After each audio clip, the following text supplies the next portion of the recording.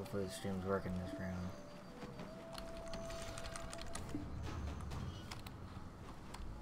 Got a bunch of quests to do, but uh, for time being, we're gonna start off with a boss fight.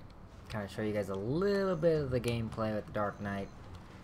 Um, of course, if you want to see a lot more of the gameplay, come on over to the Twitch channel. Links and everything will be in the description.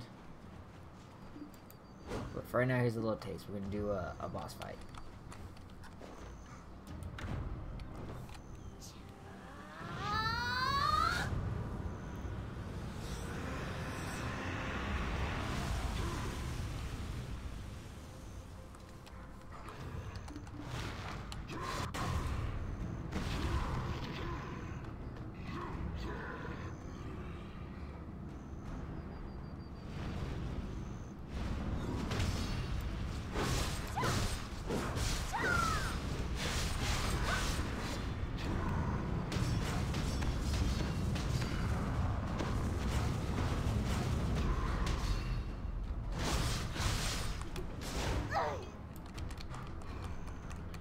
Up.